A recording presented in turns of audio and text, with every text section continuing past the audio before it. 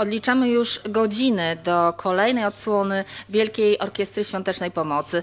Za nami mnóstwo e, puszek. E, Czy wszystkie puszki już są rozdane? Czy wszystkie identyfikatory już trafiły do wolontariuszy?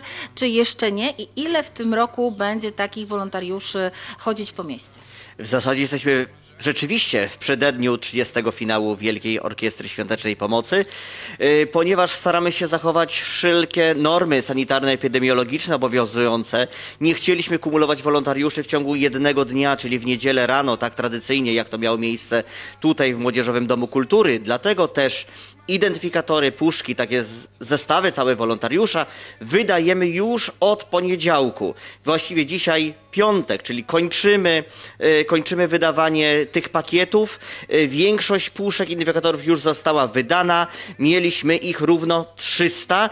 E, Zostało to, co za nami, plus, plus malutki dodatek do tego, gdyby na przykład zdarzyła się taka sytuacja, w co mocno wierzymy, taka sytuacja, w której e, wolontariusz zapełni swoją puszkę i będzie chciał ją wymienić na nową, pustą, aby e, z tą puszką wyjść znów na opolskie ulice i tam kwestować. W tym roku, e, nie tak jak w ubiegłym, e, będą licytacje również na scenie, bo w ubiegłym ze względu na pandemię były tylko zdalne.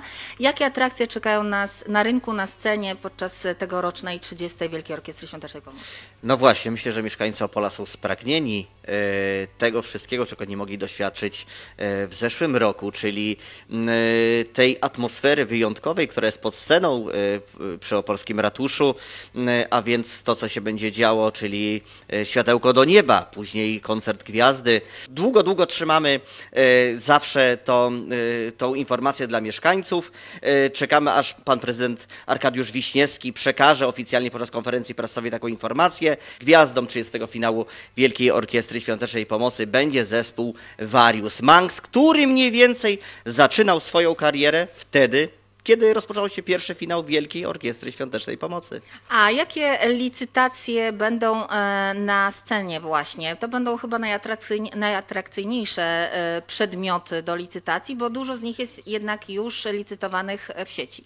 E, W tym momencie na naszym Allegro w Oświopole e, m, zachęcam bardzo serdecznie do, do odwiedzenia, do licytowania. Mamy 169 różnorakich przedmiotów, a takie rzeczywiście e, co cenniejsze, e, oczywiście w ramach czasu, który jest przewidziany na scenie, będziemy chcieli zlicytować e, na scenie, która będzie zlokalizowana pod opolskim ratuszem. Od której będą te licytacje na scenie? Y, Zaczynamy o godzinie 14 y, i aż do światełka do nieba, czyli do godziny 20 licytujemy. Mamy bardzo wiele ciekawych y, przedmiotów. Są to vouchery też często na różnego rodzaju, y, czy to y, zabiegi medyczne, czy zajęcia sportowe.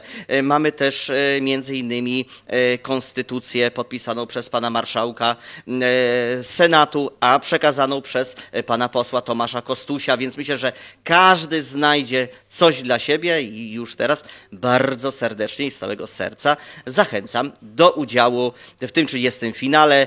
Y, Najpierw od rana tutaj na terenie miasta Opola, gdzie będzie można spotkać naszych 300 wolontariuszy, e, a później już e, pod sceną od godziny 14. No i żebyśmy byli w tym kulminacyjnym punkcie, e, czyli o godzinie 20, kiedy wypuścimy to laserowe, co warto zaznaczyć, światełko do nieba i podziękujemy sobie za to, że jesteśmy tego dnia znowu wszyscy razem i że pomogliśmy znów ratować życie i zdrowie. No właśnie, przypomnijmy w związku z tym jeszcze raz, e, na co jest kwes- e, ta- kwestia tegoroczna. E, Hasłem jest przejrzyj na oczy. Przejrzyj na oczy to hasło, a celem zbiórki jest utrzymanie najwyższych standardów w okulistyce dziecięcej. I tak naprawdę to jest pierwszy taki cel podczas tych 30 lat, czyli właśnie okulistyka. Jeszcze woźb dla okulistyki nie grało. E, Chcemy kupić e, najlepszy sprzęt, jaki to możliwy.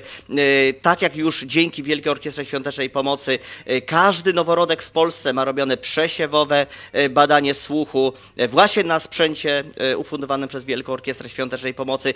Tak też chcemy, żeby każde dziecko, które przychodzi na świat miało zbadany wzrok i dzięki temu mogło w pełni barw, w pełni kolorów patrzeć na ten świat, miejmy nadzieję, e, tak piękny i kolorowy, jakim jest podczas każdego kolejnego finału Wielkiej Orkiestry Świątecznej Pomocy. No więc y, po prostu czekamy na Państwa i liczymy na to, że się spotkamy w niedzielę, bo w niedzielę rusza 30. edycja Wielkiej Orkiestry Świątecznej Pomocy, a zawsze warto pomagać.